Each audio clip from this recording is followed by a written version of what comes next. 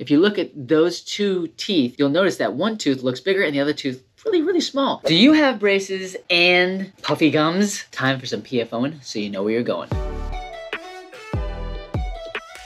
Today we're talking about you folks who have braces and or Invisalign and have really puffy gums. You started the treatment, your gums were like all pretty before and now you got the braces on and boom, the gums get inflamed, they're red, and they get puffy, and they kind of look like they're starting to spread out over your braces, and you're just kind of freaking out. What is happening? What's happening to me? We're gonna talk a little bit about that today. Before we get to talking about gums as they relate to braces, let's just talk about gums in general. First off, there actually is a gum specialist in the dental field. They're called periodontists. In case you were wondering, gums are an important part of our oral health. Gums can be different colors, different thickness, depending on where we're at. We definitely want to maintain good gum health in order to maintain good oral health, right? We want our teeth to last for a really long time, so you need good gums. A lot of people see puffy gums with braces, and we're gonna get to that. Some folks, without even getting braces, just have what we consider, or what they look like, small teeth. The reality is, if you were to visit a periodontist or maybe talk to your dentist about it, they might be able to tell you whether or not you have actually small teeth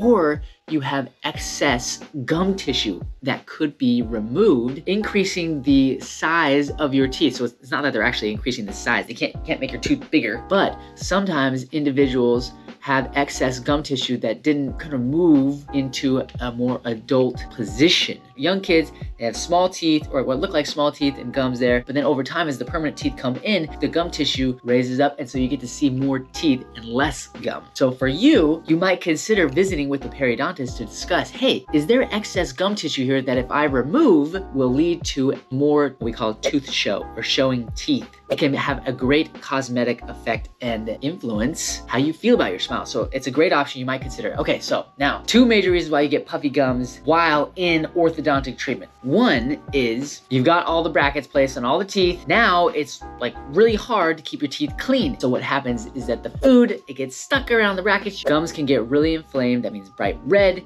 and they can get puffy and they can bleed. And that is regularly associated with poor oral hygiene, not keeping your teeth clean. And so the gums get all puffy. And in fact, once they get puffy and they start, it's really hard to get them to go back to normal. Another reason why sometimes gums get puffy, common reason, as you go through your orthodontic treatment, if you have spaces, a lot of spaces in between your teeth, or maybe you took out teeth because you were so crowded and now you're trying to close the space, oftentimes that gum tissue right there will it's got to go somewhere, right? Because you're squeezing the teeth down and the gums were there before. And so the gums usually come out to the front and to the back. Those are two very common reasons why folks that are going through orthodontic treatment get puffy gums. Some other reasons, perhaps less common, would be some sort of allergy to the nickel in the metal braces, or sometimes your medications. Again, not very common. Certain medications can lead to a puffiness in the gums. Those are the reasons why we're gonna discuss here why you might get puffy gums during orthodontic treatment. The best way to try and prevent that is by taking care of your teeth. You've got to, got to, got to brush and not just check out our other video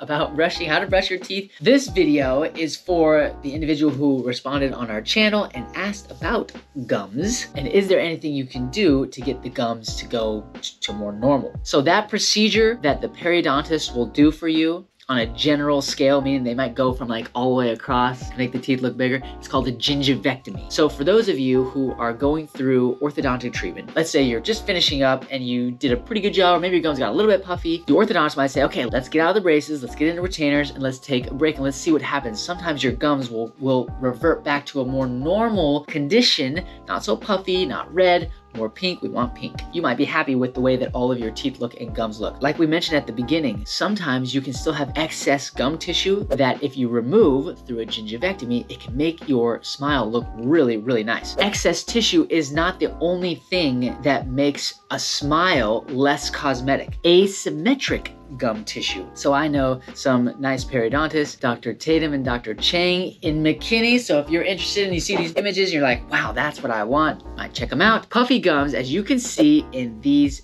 pictures. First off, puffy gums can be less cosmetic. Then, as you can see in this image, notice that the canine on one side, all right, that's the third tooth from the right. If you look at those two teeth, you'll notice that one tooth looks bigger and the other tooth really, really small. That's because the gum tissue is so far down. Asymmetry. There's a certain position of the gum tissue that makes a smile look very cosmetic. What we want to see is we want to see the height of the tissue here at the canine match the height of this central incisor and this one all the way over to this canine right here. And then these lateral incisors, the gum height there, should be a little bit down, not at the same height as those teeth right here. So symmetry in the gums and more teeth showing help improve the cosmetics of the smile. And so if you're finishing up with braces, this is a great example. This individual went and got the gingivectomy during orthodontics, which sometimes we recommend that you do after orthodontics because if poor oral hygiene is the reason why you had puffy gums in the first place and you're not finished with your braces, if you do the procedure, the gingivectomy, and it makes it look all pretty and you can't take care of your teeth because you still got the braces on, then the gums might come back and you have to do the procedure again. So not that you can't do it during orthodontic treatment with your braces, but you might consider holding off to the very end if possible. Okay, but this person got their gingivectomy done during or with their braces on, but just notice the difference here. Now you can see more teeth across the front, just really improves the smile. So it's not that they grew the tooth or anything, they just took the gums and they moved them up a level. They removed part of it so that you see more tooth. And if you go back to what we were looking at before, you compare the canine on one side, which was really big compared to the other one. Now you can see them very well and notice the symmetry from the canine to the canine and the central incisors and then the lateral incisors. You can note that the level, the height is a little bit lower. So you see less of the lateral incisors and that's and that's the way it should be. That's what we think looks the best. So